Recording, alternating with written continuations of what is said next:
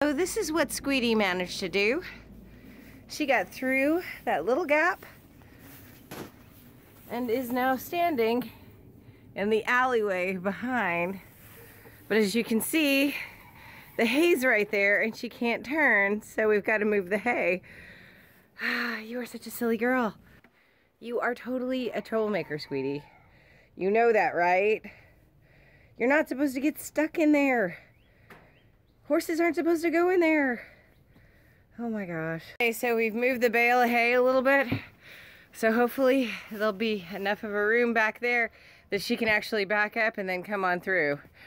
Hopefully, that's the idea. Back her out.